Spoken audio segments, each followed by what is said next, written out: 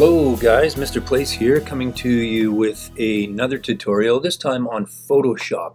This uh, might be the first experience that you've had in Photoshop, so uh, let's get right into it. I've opened up Photoshop.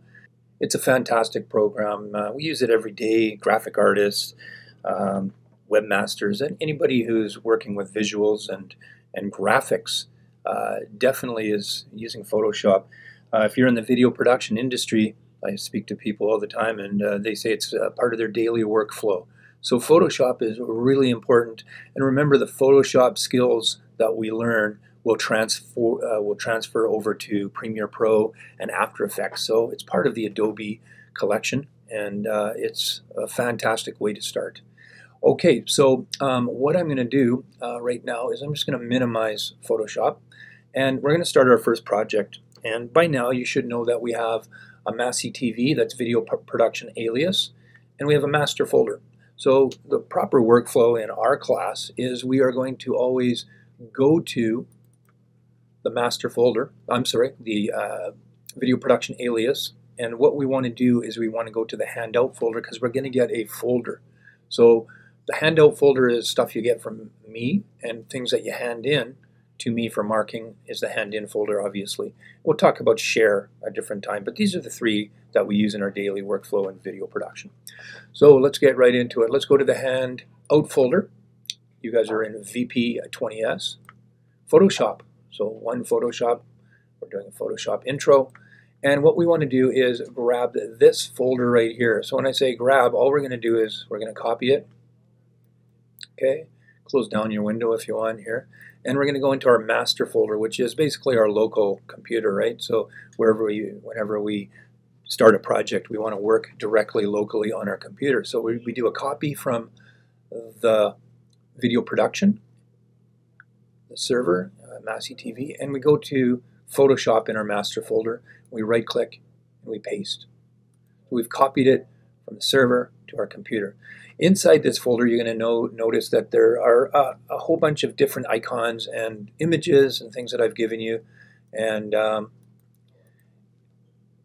I provide the footage for you. If you want to see a completed project, there's a folder right here, and uh, we can double click on it, just have a quick look. So um, basically, I'm going to give you all the assets and all the media, a background castle, and, and you're going to use Photoshop to place other objects or assets within your Photoshop document. Okay, so we've got some birds and knight. Um, Olivia decided that she'd bring in her own uh, raft, which isn't part of that, but there's a dragon too. Uh, and there's also a sky in the background. So let's get out of this picture. That is an example of a completed project. Okay, so let's go back to Photoshop. Photoshop, and there we go. So what we want to do is we want to remember that magic number, and that's 1920 by 1080. So your screen across uh, in video production, our standard is 1920 pixels across and 1080 down. So how do we get that sort of template? Well, we're going to do this. So no matter what project you're doing, you're 99% of the time going to do this. So pay attention to this, memorize this, and here we go. Create new. Film and video. So there's different categories up here. Later when we do posters, we'll go into print. Other things, you know, art and illustration. But the one that we're using 90% of the time is film and video. And then all you do is you check. It's the first one here. It's HDTV 1080p. And that's 1920 times 1080. When we double click on that, just like your wallpaper that you guys made, you guys will see the template for that 1920 across, 1080 down. So whatever we put in there, um, our are constrained by th those particular dimensions. Okay, um, and these turquoise bars right here are called safes or safe margins, and they're used uh, for text usually. So what we just want to remember is when we're making text, we don't want to put them outside this turquoise box. Sometimes we can get away with putting it in the second box, but uh, it'll be cut off on projectors and older TVs and things like that. So there are some rules that we follow and uh, the rule for text is we want to keep it in there. We're not using text in this project, so let's move on. So um, I did give you guys a folder full of media. So the first thing that you're going to do is you're going to go and bring in the castle in the background. So how do we do that? We're going to go File. You're not going to go File Open, but you're going to go File Place Embedded. So everything that you bring in, you know, there's times to go file open when you're working on some posters and things like that. But right for, for the general rule, when we want to place an object um, inside this template right here, we always go File, Place Embedded. Okay, um, and then you're going to map to your master folder, Photoshop, Castle Practice, there it is right there. So it's number one. I put them in, in order so that you bring them in. So number one, castle, two, knight, three, dragon. Okay, so let's do that. I'm going to bring in the castle. And if you look, the castle is exactly, is exactly 1920 by 1080 because it fits right to the pixel. Okay, if you bring in something like this, uh, it's still acceptable. You can always, you know, upscale uh, the picture. Okay, but if it's really small like this, um, I would go back and get a different background uh, if you're doing your own project. But this is 1920 by 1080 that I give you right here. Okay, so um, here we go. Um, you look around Photoshop right here and you look and you go, wow, there's a few things happening. The first thing is there's a tool palette over here. So all the tools that we learn and all the different functions of Photoshop are held within this tool palette. The first one we're going to use always use is the Move tool. So when you want to move something like I was before, you can move things around. Now you notice that I have transform controls. These are these little boxes right here. Okay, you can see one, two, three, four. And when you move one, it affects everyone. Okay, later on, if you hold down shift, you can start distorting things uh, if you want. Uh, if you hold down shift, you can just change the properties of one. Uh, but um, you can see that we can move using the transform controls. If yours don't show up, these boxes right here, these transform uh, tool nibs right here, Dobbs, what you can do is you hit the move tool up here. You go up and you make sure auto select is selected and show transform controls. Um, for some reason, Adobe thinks um, that this should be turned off by default. We always turn this on in our class. So make sure that's on, and if you do, if it, you can't see those those resizing handles, of course, you're going to just click that and now you have them. Anyways, so let's move on. That's the first tool that we're going to use. Okay, so there's my castle. Um, right here is our uh, layers. So it's like back in uh, kindergarten when you guys cut out a whole bunch of pictures in magazines and you piled them on top of each other and you try to make it look good like a collage and uh, then you glued them down when you were happy. Okay, so Photoshop is exactly the same thing. We have a background layer, and if you look, it's white. Okay, it doesn't always have to be, but uh, it's really not doing anything right now because we have uh, an image covering it, but just leave that. And we have one castle background. So now what I want to do is I want to bring in a knight. So here we go. I'm going to bring in another element of this. I'm going to go File, Place Embedded. I'm going to bring in two knight. So now I have a JPEG with a uh, not transparent background, it's white, that we have to cut out. Okay, so what I'm going to do is I'm going to use a tool, this third one down, it's the lasso tool. Okay, and some of them that have this little triangle, a drop down menu, you can right click and you can change the properties. My favorite is the polygonal lasso tool. Um, I'll show you what that does first, and uh, this is the first tool that we're going to learn other than move tool. Um, when you're cutting out, you always want to zoom in as much as possible. Watch what happens when I hold down Option on the keyboard and scroll. So I can zoom in and out. I'm going to zoom in as much as I can here just to show you. And again, if I wanted to hold down the spacebar, I can also just kind of move things around if I wanted to, if, I, you know, if I'm working on certain things. Um, the next thing that I want to do is I want to start cutting this out. Okay, so let me just make sure this is moved down. There we go. Mistake. There we go.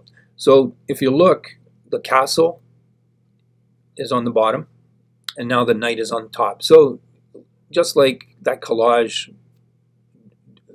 thing I talked about a little bit, the analogy in kindergarten, uh, cutting out paper, you can grab things and put them in certain layers in order in the layer. So I'm going to drop this one on top.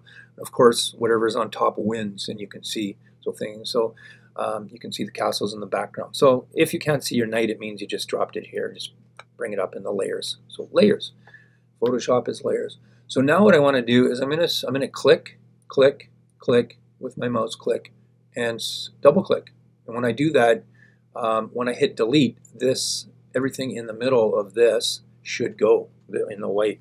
So when I hit delete, well, look what happens. Now this is a quick little lesson that when you bring in objects and media and JPEGs and different graphics into Photoshop, you have to prep them. And the, the way that we prep them is rasterizing. So it says it's not directly editable. Whenever that happens, get in the habit, you're going to have to right click right here on the knight and you're going to have to rasterize the layer. There we go. So now when I hit delete, it only, um, the cutting tool right here, the lasso tool, um, only affects the layer that I'm working in. So that's why it's not cutting out the castle in the background. Double click. There we go. So I'm just going to do a quick little cutout right here. There. Um, and now uh, I am ready to do some some kind of detailed work again. You can hold down the space bar move. You can hold down option and scroll. And what I want to do is I want to zoom in as much as I can right here. I'm going to start on the top of the head right here. So the more you zoom in, the easier it's going to be in more detailed work you're going to do. I'm going to use the polygonal lasso tool. So I'm going to go click, click, click, click, click, click. And, uh, you know, you could go around the whole thing, but I don't do that because if you make a mistake, you have to start all over again. So I cut it out in little chunks. Okay, do the best job you can. Again, the more zoomed in you are, the better. Okay, so I'm just cutting out everything and it's going to take me a while to do that. To cut out all this white right here. Take your time, double click, there we go. So that's the next thing that we're going to do is we're going to cut that all out. Okay, so I'll be right back. I am going to uh, cut this all out and I'll be right back with this done. Okay guys, welcome back. I have uh, finished cutting out all the background white out of the knight here. Uh, and now what I can do is I'm going to place the knight. This is using a rule of thirds. This is the best place to put this knight right here, right in the middle, right? Um, so I'm going to try to use the best choice that I can to put this knight somewhere. Um, so I'm going to try to keep, um, according to the rule of thirds, this might be a really bad thing to do because uh, you cannot see the detail of, of the knight right here. So make some choices. We want to try to uh, put the knight where he pops out. And I think that if we put him right here, let's make him a little bit bigger. I think that's good right there. I'm going to leave the knight there. Okay. Next thing I want to do is I want to bring in of the dragon. Now the dragon, I won't kid you, uh, the dragon is the hardest. It's the most detailed thing. So how do we bring in an object? File, place embedded, dragon.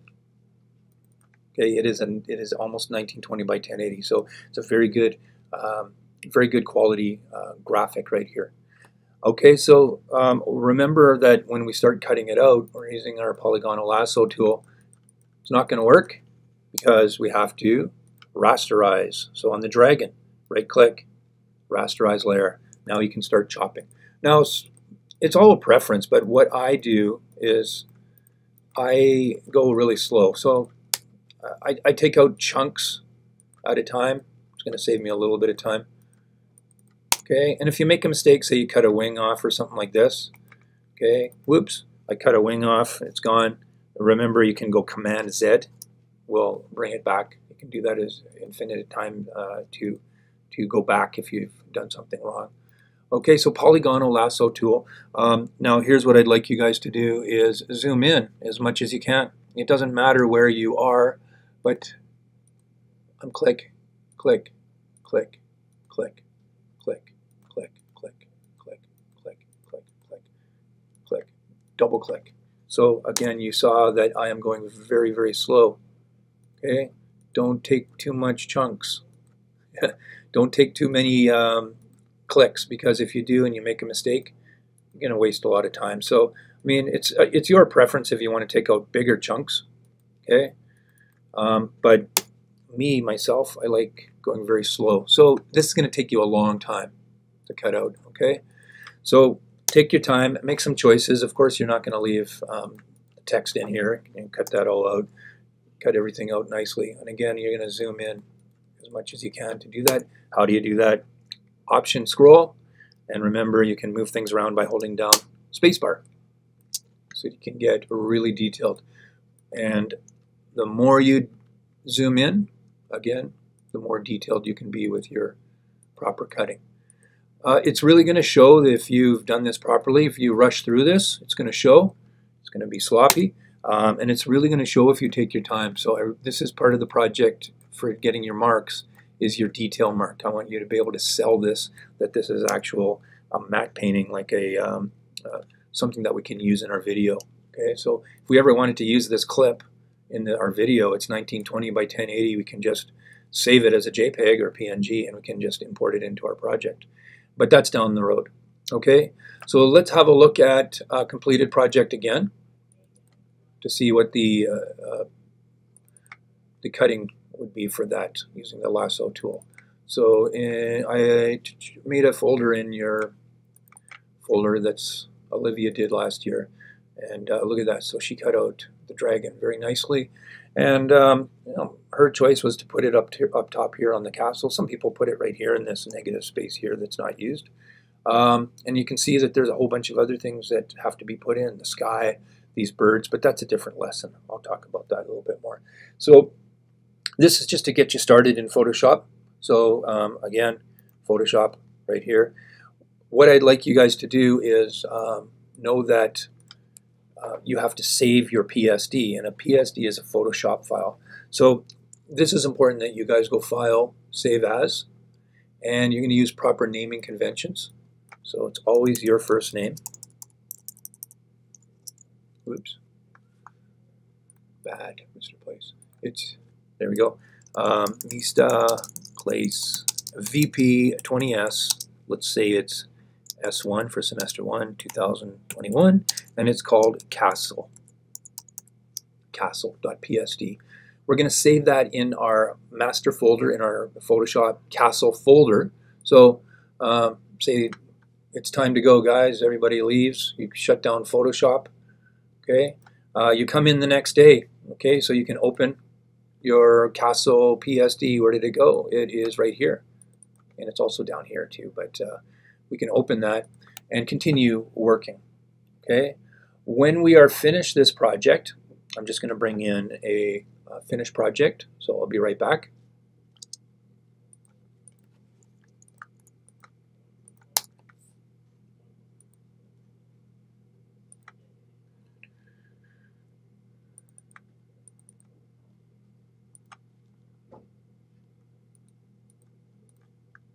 Okay, when we finish our project and we're happy with it and there's no more we can do to it, we're going to do that again. We're just going to hit save. That's going to be our PSD.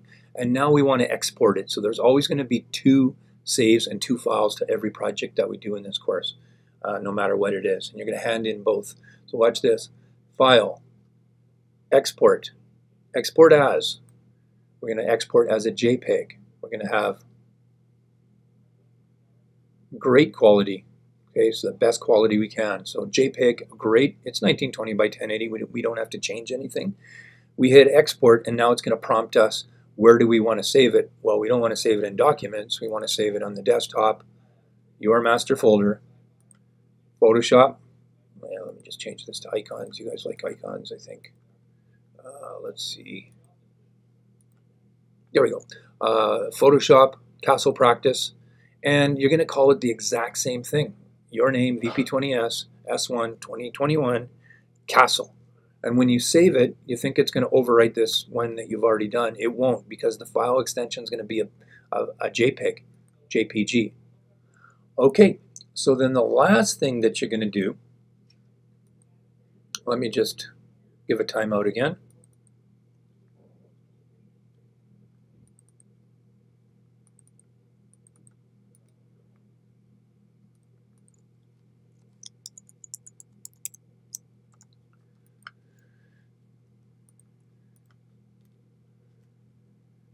Okay, and the last thing that you're going to do is you're going to go, now that your two projects files are saved, you've got the PSD, which is the Photoshop file, and the JPEG, you're going to go find them. Okay, and they're in your master folder. There they are. And let's just find them down here. So I've got a JPEG and I got a PSD. I'm going to grab both of those and make, make sure that they're named properly. We're going to copy those and we're going to hand them into the hand-in folder. Okay, so the hand-in folder is in video production alias, hand-in folder, make choices. So if you're in VP 20S period 3, double click, Photoshop, it's a Photoshop project, Castle, right click, paste.